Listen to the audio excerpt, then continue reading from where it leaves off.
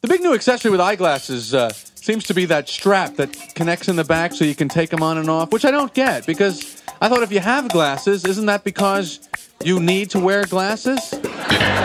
You need glasses, isn't that what they say? I mean, an eye doctor doesn't say, Would you care for some glasses?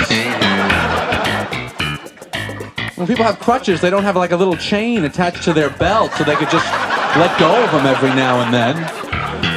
Why not get a toupee with a rubber band for when you're water skiing? The thing could just